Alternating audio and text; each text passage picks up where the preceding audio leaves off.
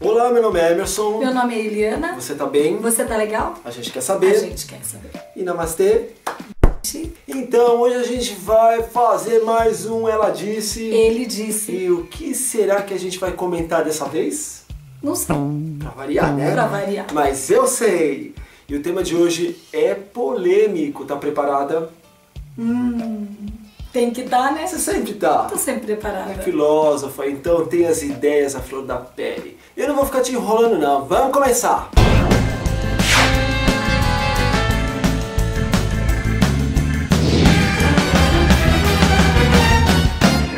Ok, perua. O tema de hoje é Tchau, tchau, tchau, tchau.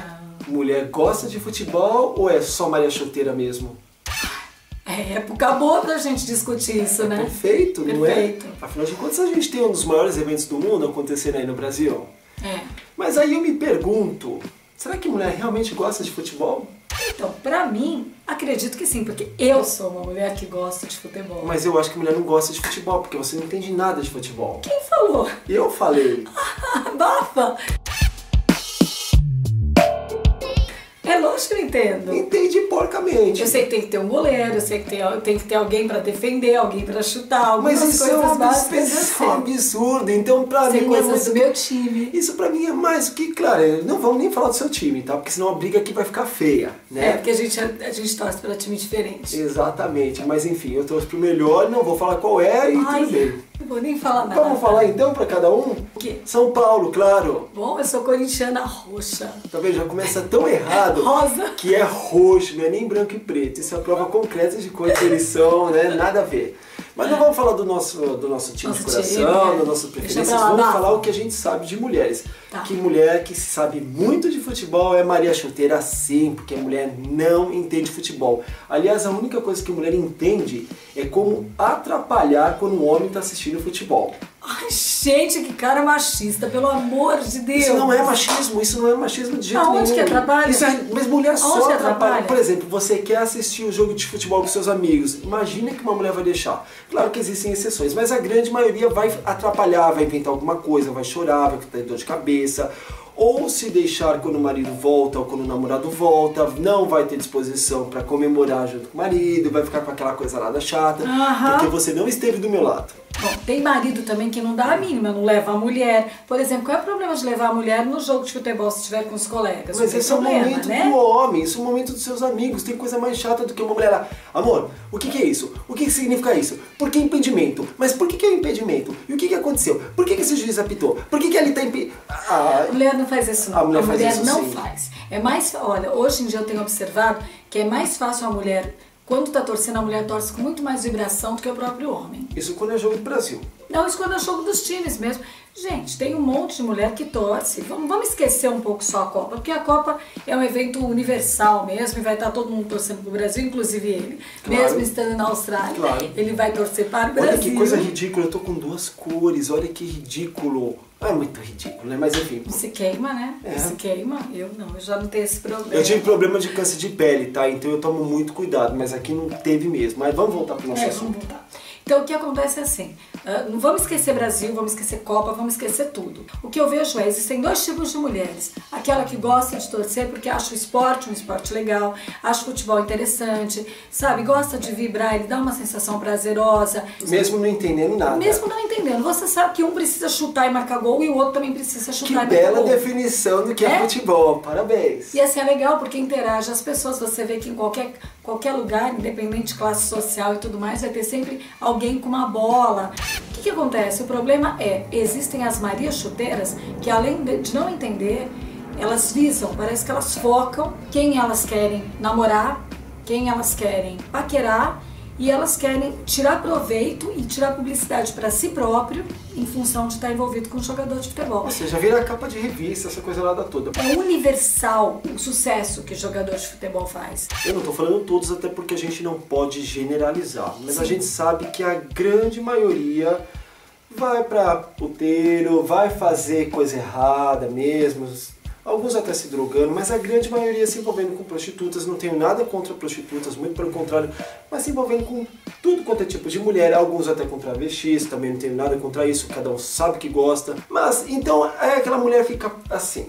ah, essa é a minha grande oportunidade, eu tenho que dar tudo de mim, dar mesmo, dar tudo, sabe? Dar tudo de mim para conseguir uma oportunidade como essa. Não seria mais fácil essa mulher estudar, batalhar e tentar alguma coisa do que virar uma Maria Chuteira? Então, na cabeça de quem é Maria Chuteira, eu acredito que não. Se é o caminho mais rápido, por que, que eu vou ter que demorar? Mas será que é o caminho mais rápido mesmo? Ou será que essa mulher não vai estar sujeita? Eu não estou falando que todas as mulheres que são Mulheres casadas jogador. com jogadores de futebol são assim. Sim. Mas tem muita, mas tem muita que a gente sabe que é assim. Foi bom ele deixar isso bem claro, que a gente não está falando das mulheres sérias que são casadas com jogadores, Porque tudo que tem- se dedicam à família ou se dedicam ao seu trabalho. Tem, tem, muito, tem, tem artistas até que se casam com Mas jogadores. tem aquelas que atrapalham até um casamento.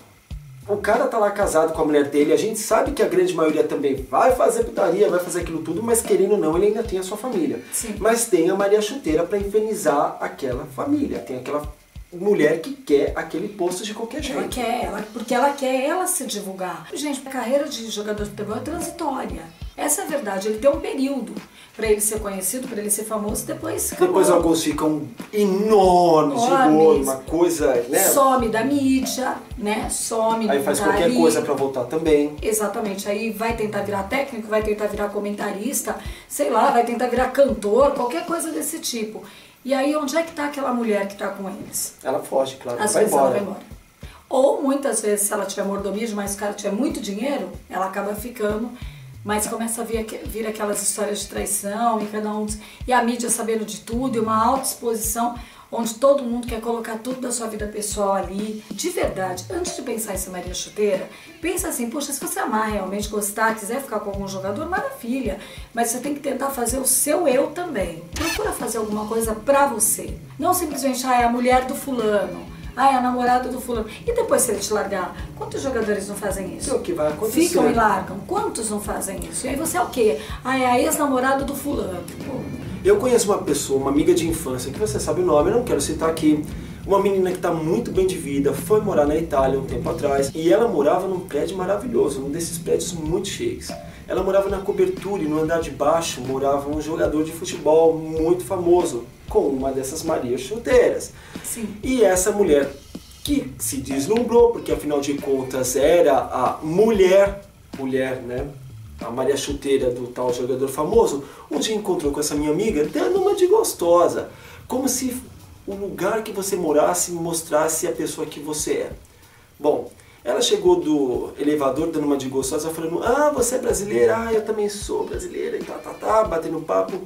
Eu sou do Morumbi, mas só frequentava tais bairros lá em São Paulo. E você, a minha amiga, que hoje é milionária, que é nossa amiga, enfim, milionária, olhou bem pra ela e falou: Eu sou do Bom Retiro mesmo.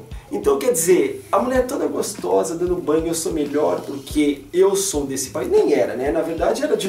Vai, vai, vai saber, era, Angelina. não Devia ser era. de um buraco qualquer. é mais fácil você falar. Mas só porque ela casou ou juntou, ou a gente não sabe, com esse jogador famoso, a partir desse momento a história dela não existe, é é aquilo e ponto final. Então ela cria uma realidade totalmente deturpada e assim ela passa a acreditar e ela passa a divulgar isso e a gente sabe que não é verdade. Sim.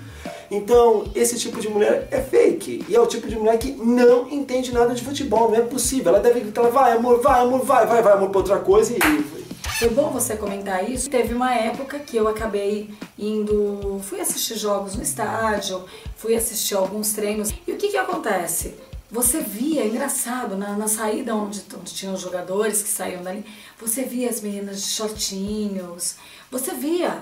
Você via como se elas ficassem esperando o cara sair. E aí fica com, com determinada roupa usada. Mas é uma oportunidade sabe? de vida, não é? É uma coisa tão louca, porque assim, É como, é como ganhar na Mega Sena. Ele vai me ver, ele vai olhar pra mim, vai se apaixonar por mim. É, não vai se apaixonar por mim, vai se apaixonar pela bunda dela, né? e vai me tirar de todos os problemas que eu tenho. É, parece que é uma tábua de salvação mesmo, sabe? É a história da Cinderela, né? Na realidade, ali é o príncipe encantado que vai te tirar de Vai virar príncipe, problemas. mas que não é príncipe encantado, é um sapo. Depois vai virar um sapo mais pra frente quando ele encontrar uma outra Cinderela. A não ser que ele goste muito, acabe casando, senão a gente vai acabar sendo processado pelos jogadores. Até porque a gente não tá falando nomes, a gente tá falando que pra tudo nessa vida há exceções. As pessoas são diferentes, mas a gente vê que a grande maioria, isso não significa que tal jogador seja assim. Exatamente, tem pessoas seríssimas que você vê que respeitam a mulher. Eu acho que a mulher ela virou objeto. Essas mulheres assim, elas são simplesmente um brinquedo novo. É o brinquedo novo, você vai usar, você vai aproveitar e depois você vai, tchau, você vai buscar um outro. Se a mulher tiver predisposta a esse tipo de papel, tem mulheres que não querem. Mas então, mas se tiver, mas então, diferente das torcedoras. Quer dizer então que Maria Chuteira não é uma pessoa que aprecia o futebol, ela é uma pessoa que aprecia o o jogador. O futebol mesmo. O e o, né? É. Se bem que isso aqui também não é importante desde que tenha é isso. É isso aqui que é importante. Mas é então isso, Maria Chuteira com certeza não é uma eu, eu acredito que a Maria Chuteira ela é muito diferente da torcedora.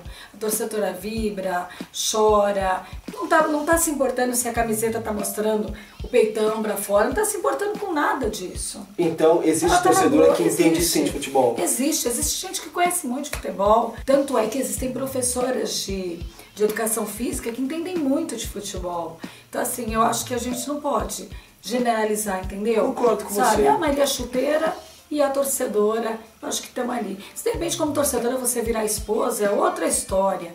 Mas você não está indo ali porque você quer virar esposa. Você está indo ali porque você gosta e do, aconteceu. evento. E acabou acontecendo. Mas mesmo assim, eu ainda bato na tecla. Mesmo aquelas que conhecem mesmo de futebol, elas ainda vêm com um plus, que é o infernizar a vida do homem que gosta de futebol. Não, ele está errado. Vamos assistir então futebol? Não. Não, né? Ou se eu quero, não, mas você não vai. Nos jogos com seus amigos? Claro que não, porque esse é o momento meu e ponto final. É melhor você ir sozinho, porque assim, tipo, eu vou ficar fazendo o quê? Vendo você jogar? Uhul! Grita, neba, chuta, aí! E até porque não daria uma boa Maria Chuteira, porque de dinheiro aqui, ó. Bom, como você pode ver, não dá pra gente chegar a uma conclusão. Claro que às vezes a gente exagera um pouco em alguma coisa ou outra, mas a gente sempre tem que terminar falando que para tudo nessa vida há uma exceção. A gente não está falando que todas as pessoas são péssimas. Existem pessoas sérias, existem pessoas legais, mas. Existe muita gente que faria qualquer coisa para se dar bem. Então a gente se despede por aqui. Nós Isso. esperamos que você tenha gostado. Muito obrigado pela sua audiência e a gente se vê no próximo vídeo. E namastê. Tchau. Tchau. Tchau.